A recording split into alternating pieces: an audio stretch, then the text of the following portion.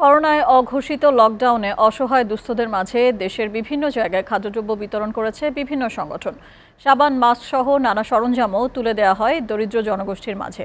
প্রতিদিনের পাঠানো তথ্য ও ভিডিও চিত্রে রিফাত হোসেন সবুজের ডেস্ক রিপোর্ট জানাচ্ছেন রূপানুর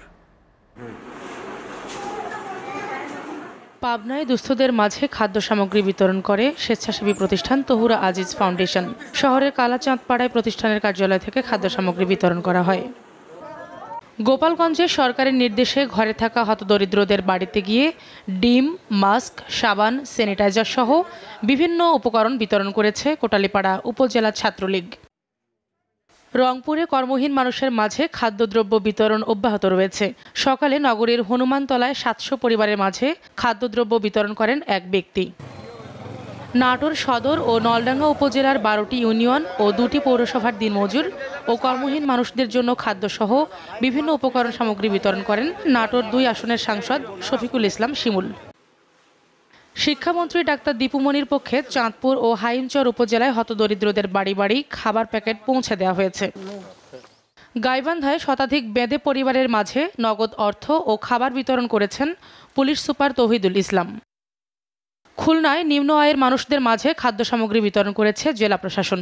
প্রধানমন্ত্রী ঘোষিত মানবিক সহায়তা কর্মসূচির আওতায় গতরাতে ডুমুরিয়া উপজেলার হতদরিদ্র মানুষের মাঝে চাল, ডাল, তেল, আলু সাবানসহ নিত্য প্রয়োজনীয় খাদ্য সামগ্রী বিতরণ করা হয়। কুড়িগ্রামে ব্যক্তিগত উদ্যোগে ধারাবাহিক ত্রাণ সামগ্রী বিতরণের উদ্বোধন করেন স্থানীয় সাংসদ পনির উদ্দিন আহমেদ। সকালে জেলা শহরের জলিল বিড়ি মোড়ে এক হাজার মানুষের মাঝে চাল, mask, hand gloves, hand sanitiser বিতরণ করেন তিনি। ময়মনসিংহে কর্মহীন মানুষের মাঝে চাল, ডাল, আলু, তেল সহ বিভিন্ন খাদ্য সামগ্রী বিতরণ করা হয়েছে। করোনা ভাইরাস প্রতিরোধে সামাজিক নিরাপত্তা কর্মসূচির অংশ হিসেবে জামালপুরে নিম্ন আয়ের মানুষের মাঝে ত্রাণ সামগ্রী বিতরণ করা হয়েছে।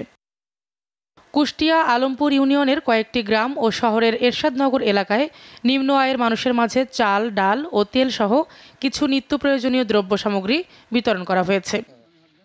মেহেরপুরের মহাজনপুরে পাঁচশো পরিবারের মাঝে খাদ্য সামগ্রী বিতরণ করা হয়েছে।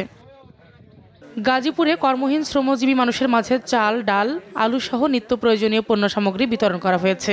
মুক্তিযুদ্ধ বিষয়ক মন্ত্রী আকম্মা মোজাম্মেল হক উপস্থিত থেকে এসব ত্রাণ সামগ্রী বিতরণ করেন। মানিকগঞ্জ সদর উপজেলার ভাড়ারিয়া ইউনিয়নে দুই শতাধিক দরিদ্রের মাঝে খাদ্য সামগ্রী বিতরণ করা হয়।